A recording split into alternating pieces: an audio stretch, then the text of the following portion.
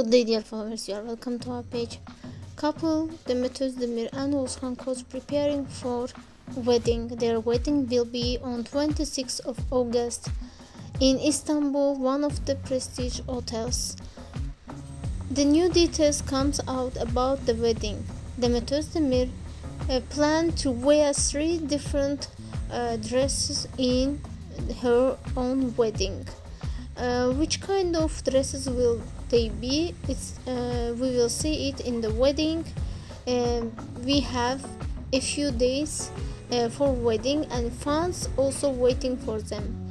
Oğuzhan Koç uh, in his lately latest new interview said that we we are ready. We prepared everything, uh, even from tables, uh, decoration to everything is ready, and we uh, are waiting for mm, 26th of August.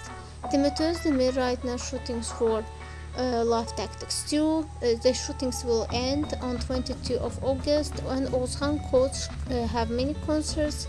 Uh, on 26th of August, they will be ready.